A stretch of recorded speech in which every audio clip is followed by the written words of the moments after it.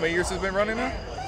Well, this event I think has been here for about a year, but uh, hopefully it keeps on continuing year to year. We're going to get more people out here to support them. Hopefully so. Yeah. Hopefully. Yeah. And uh, what do you want? The, what, what should we tell the audience, like from your perspective, like people coming out here tonight?